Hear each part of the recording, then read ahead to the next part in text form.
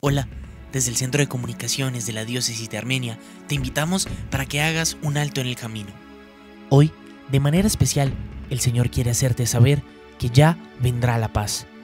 Si tú crees que una sonrisa es más fuerte que un arma, si tú crees que lo que nos une a los hombres es más fuerte que lo que nos separa, si tú crees en el poder de una mano extendida, si tú crees que ser diferente es una riqueza y no un peligro, tienes a Dios realmente en tu corazón.